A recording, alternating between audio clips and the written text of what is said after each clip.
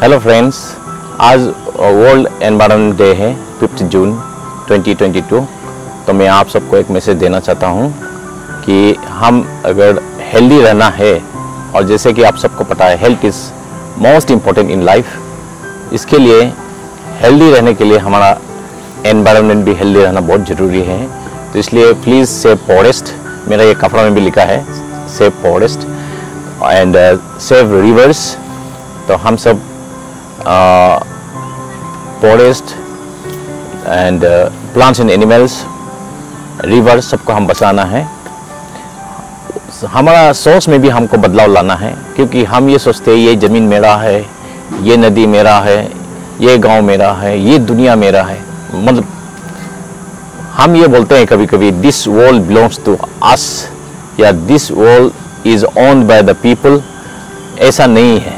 Actually we all belong to this world और plus ये जो दुनिया है, ये हमारा भी नहीं है हमारा फ्यूचर जनरेशन्स का है। एक तरफ़ से बोलने से we are care taker as if we have taken this world as kind of loan जैसे कि हम कोई भी चीज़ को आप यूज़ करते हैं, या बैंक से आप लोन लेते हैं, जब वापस देते हैं विथ इंटरेस्ट देना पड़ता है। तो इसी तरह, हमारा वर्ल्ड एनवायरनमेंट डे का दिन में मैं आप लोग को बताना चाहूँगा कि हम अभी जब अपना फ्यूचर जनरेशन को वापस देना है ये दुनिया को तो it should be more healthy and richer यानी कि यहाँ पे अगर हंड्रेड बिलियन बिलियन अगर ट्रीज है तो with interest hundred and ten billion billion trees हम वापस करना पड़ेगा फ्यूचर जनरेशन को। इसी तरह प्लांट्स एंड एनिमल्स जो एनिमल्स को भी हम वापस देना पड़ेगा। आज हम देखते हैं कितना हम डिफॉरेस्टेशन कर रहे हैं, कितना एनिमल्स हंटिंग कर रहे हैं बर्ड्स हंटिंग कर रहे हैं, इसको काइंडली स्टॉप कीजिए। और हमारे यहाँ बच्चे लोग आलों में स्पेशली सुना है कि हाँ नदी नदी में भी पॉइजन डालते हैं और जनरेटर चला के मछलियाँ पकड़ते हैं। Please stop this they also have the right to life और ये दुनिया सिर्फ़ इंसानों के लिए नहीं बनाया था, भगवान ने। ये प्लांट्स एंड एनिमल्स के लिए भी बनाया है पशु पक्षी के लिए बनाया है। तो इसलिए काइंडली सेव दिस और आप ये एनवायरनमेंट को प्रोटेक्ट करने के लिए हमें ज़रूरी है प्लांट मोर ट्रीज उसके साथ जो हानिकारक है ये एनवायरनमेंट के लिए, जैसे कि हमारा प्लास्टिक है, ये सबको हम लोग यूज़ नहीं करना है। और ज़्यादा फायर यूज़ नहीं करना है, जिससे कि हमारा एयर पोल्यूशन होता है। इसलिए काइंडली आप लोग को मेरा रिक्वेस्ट है save environment save forest save animals save rivers क्योंकि इसके बिना हमारा ज़िंदगी खराब है। उसके साथ जो एनवायरनमेंट खराब होने का बहुत यह है, हमारा ग्लोबल वार्मिंग हो रहा है, जिसके वजह से आपको पता है कि एवरी ईयर आपका ग्लोबल ग्लोबल का जो टेम्परेचर है, वो बढ़ रहा है। उससे क्या होता है जिस इवोल्यूशन प्रोसेस में तरह तरह का बैक्टीरियाज वायरस निकलते हैं, जो उस सर्टेन टेम्परेचर में सुटेबल होता है। ये बात तो मैंने पहले भी कहा था जब ये हमारा कोरोना निकलने से पहले।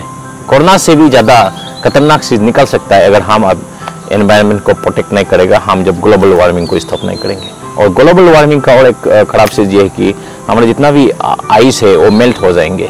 तो उससे क्या सी लेवल बढ़ेंगे? सी लेवल बढ़ने से बहुत आइलैंड्स और सी शोर सबमर्ज होंगे तो हमारा लैंड मास भी कम होने का चांस है। तो इसलिए let us place today that will protect environment forest and our surroundings rivers fishes, and animals. Will stop hunting. Hunting ना करें. लास्टली में और दो बातें करना चाहता हूँ। एक तो है कि हम सब अपना children grand children grand children grand grand children को प्यार करते हैं। तो हमें आज हमारा ये ड्यूटी बनता है।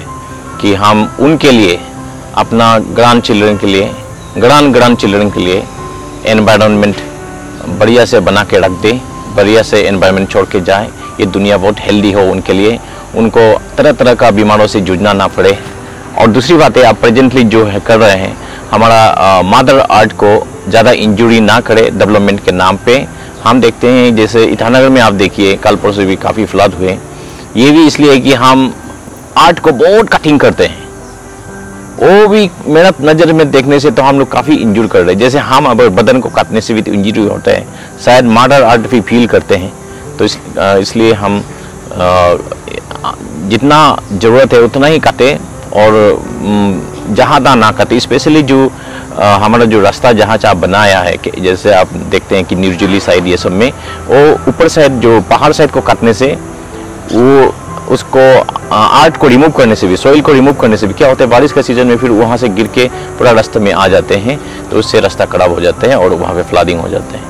तो इसी तरह लैंडस्लाइड ये सब काफ़ी हो रहा है कैपिटल में क्योंकि बिकॉज़ ऑफ़ आर्ट कटिंग वहाँ में तो मैंने देखा जे मतलब ऐसा लगा कि सारा दुनिया का जे कैपिटल में आ गया।